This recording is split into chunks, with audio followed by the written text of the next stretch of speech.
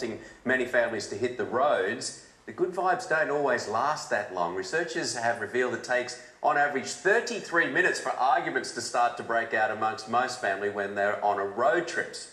So, on the grill today, we're joined by family therapist Karen Phillip and journalist Jacinta Tynan. Great to see you both. Good morning. Um, Okay, 33 minutes.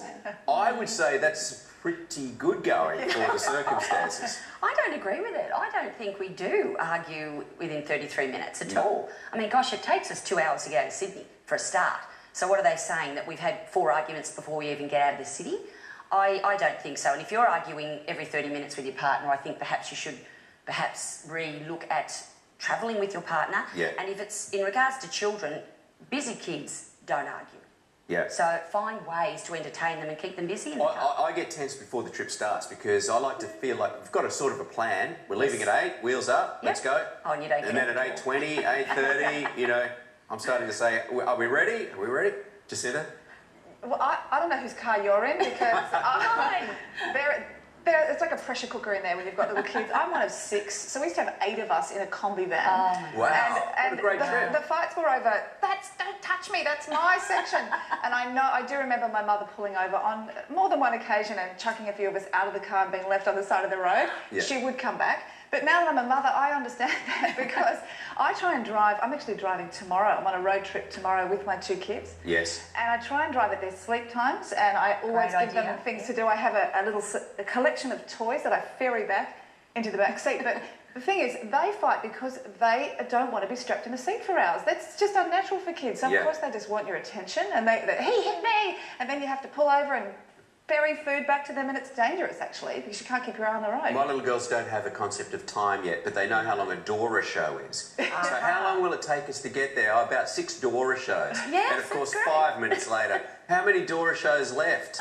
I haven't, know. done, I haven't done the DVDs on the back of the car yet. I'm trying to be a purist Oh, don't about do- that. Oh, look, if you, if you keep, if you take plenty, as you said, if you take a lot of activities for them, play a lot of games, depending on the age of the children, but the I Spy games and how many cars can we can we count that are blue or green or red? I mean, we can keep them occupied and busy. And I had three um, within three years, and we drove a lot. We never actually really had arguments. Well, that's okay. That's okay for the rest of us. It's therapeutic to have a blow up before you get there. There's no, no, no point having a blow up on your holiday. Oh no, blow ups are never good. And you've got to keep the trip short, don't we? That's the Yeah, that's, short trips. yeah, that's little, little snippets and get Four out, have hours them I've run around. out.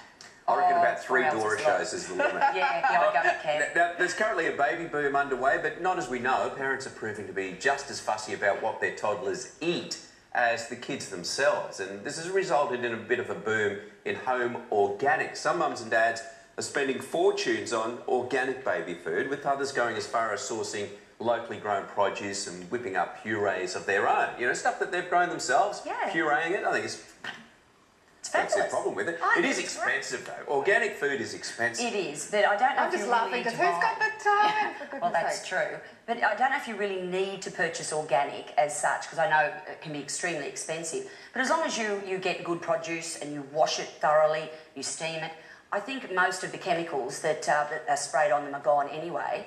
So I don't. What I'm concerned about is that we go into all this effort when they're little. And then what a, new survey recently came out uh, with the Department of Health to say by 2020 they're expecting 65% of our children to be obese. So it's like, it's great when they're little, but what happens when they turn 18 months, two years old? What are we doing? If we could continue all of this right through their childhood, that would be fantastic. That, that, that is a very good point. So, Jacinta, are you uh, out there pureeing your own pumpkins? I'm past the puree stage, thank goodness. No, I'm, I'm, I used to be a bit of an eye roll about all of this, like, oh gosh, who cares, organic.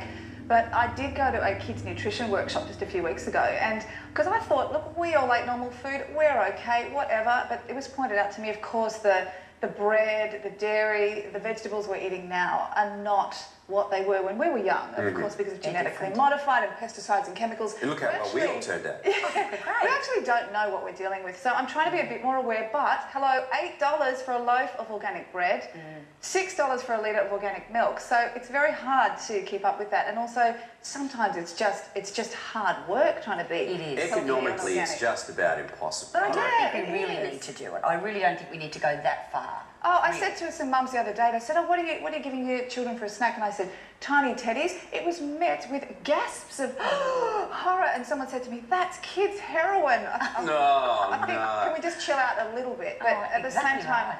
try and be aware. So I, I just pepper it. I just pepper a little bit of organic with Yeah, all the bad And- and stuff. look, everything in moderation is good. A little packet of tiny teddies every now and again. ah, But I'm not growing my own market garden. I'll have you know that now.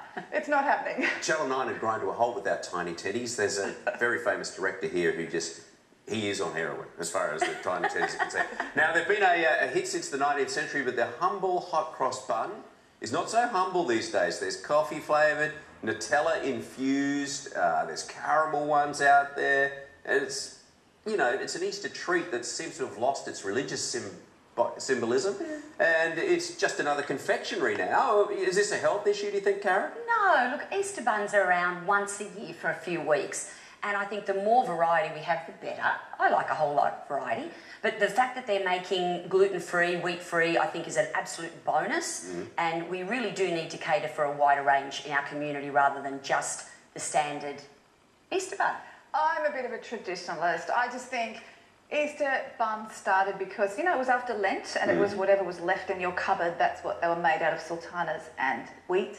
So I quite like that tradition. So, and it's the only time of the year I eat sultanas. I don't like them, but they taste good in a hot Sultanas cross is good in a whole range of things. Curries, um, rice pudding. Yes, curries.